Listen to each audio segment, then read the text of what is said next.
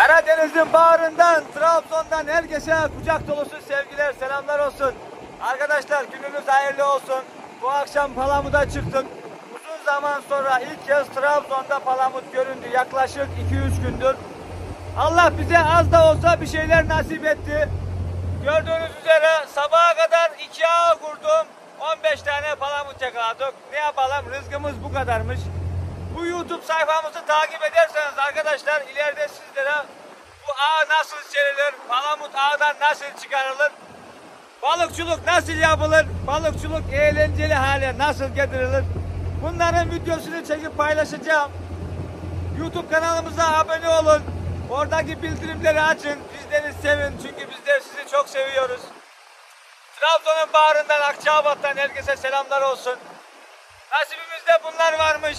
Dediğim gibi arkadaşlar bu balıkçılık çok zor, çok zahmetli bir iştir ama eğlencelidir, güzeldir. Bunu da güzel hale getiren yine biz balıkçılarız. O zaman ne yapacağız arkadaşlar? Allah'ın verdiğine her zaman şükredeceğiz. Ama şöyle de bir şey var ki balıkçılığın bazı ince detayları vardır. Onlara dikkat etmek lazım. Örneğin balığı zamanında avlamak lazım. Küçük balıkları denize geri bırakmak lazım. Sularda avlamak lazım. Havyarlı balıkları her zaman olduğu gibi tabii ki de denize atmak lazım. Bunlar sürdürülebilir balıkçılık için gerçekten çok ama çok önemlidir.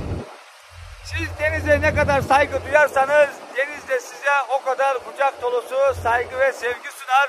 Size bol bol rızıklar verir. Günümüz şartlarında evet arkadaşlar ne acıdır ki denizlerimizi çok hor kullanıyoruz.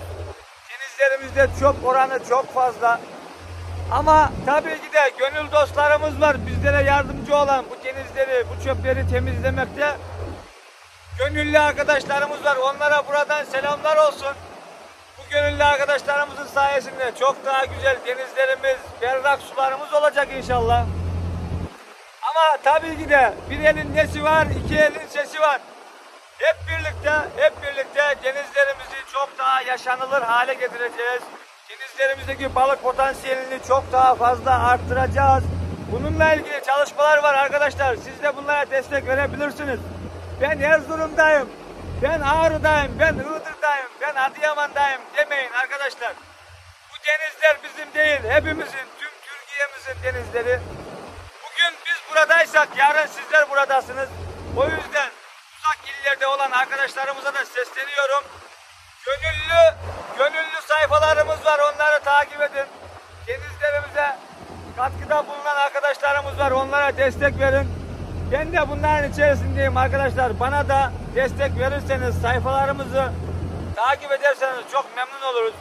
YouTube Ali Osman Erçin, Instagram Ali Osman Erçin, TikTok Ali Osman Erçin ve Facebook sayfa Ali Osman Erçin hesaplarını takip edebilirsiniz.